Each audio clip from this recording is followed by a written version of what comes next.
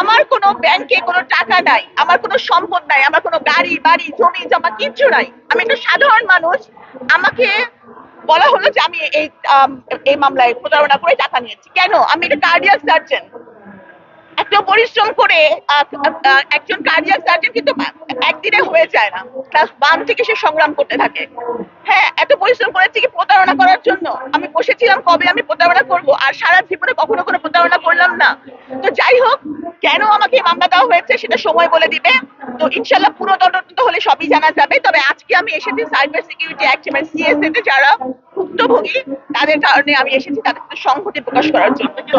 জনগণও বুঝবে, খালি একটু সময়ের প্রয়োজন। জনগণও বুঝবে যে একটা সাধারণ সাবরিনাকে ওই সময় কেন অসাধারণ বানিয়ে প্রকাশ করা হলো? কেন? কি কারণে? হ্যাঁ?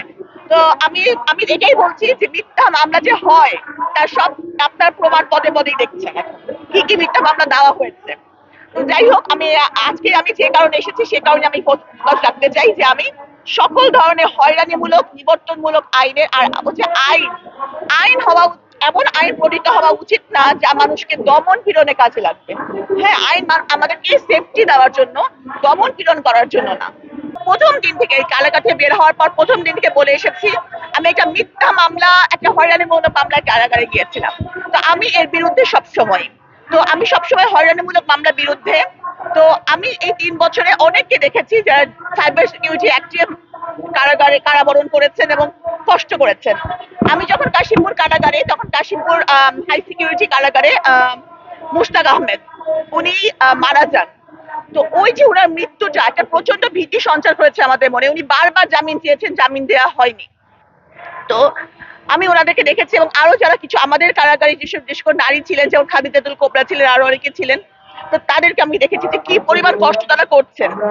তো আমি ওনাদের সাথে এই জন্যই সংহতি প্রকাশ করতে এসেছি যে আমি জানি কষ্টটা কি, আমি জানি ভুক্তভোগীরা কত কষ্ট করেছেন। যে আমার ফোকাস হচ্ছে বন্দিনী দ্বিতীয় খণ্ড এবং হচ্ছে যে আরেকটা বই আমি লিখছি। তো এই দুটা বই বেলা লাগিয়ে আমাকে কমপ্লিট করতে হবে এটা। এবং আমি কাজ করছি যারা কয়েদি, তাদের পুনর্বাসন নিয়ে। কারণ এই যেমন দেখেন, যারা মিথ্যা মামলায় জেল খেটে আসে, মানুষ কিন্তু দেখে সে জেল খেটে আসছে। মানুষ কিন্তু বোঝে না, বিবর্তনমূলক আইনও বোঝে না, সিএসএও বোঝে না, মানুষ কিছু বোঝে না। ও আচ্ছা ওই মানুষটা, ও জেল খাটা মানুষ।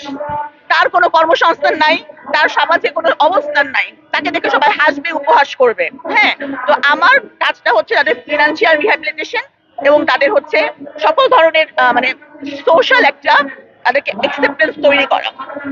আর আমার, আমরা যারা সংগ্রামী মানুষ হ্যাঁ আমরা যারা খেটে খাওয়া কামলা, আমরা যারা নিজের পায়ে দাঁড়ানোর জন্য we are struggling for our existence all of us are real life নায়িকা। সুতরাং আমাদের আলাদা করে সিনেমায় গিয়ে নায়িকা হওয়ার প্রয়োজনীয়তা আমি দেখি না।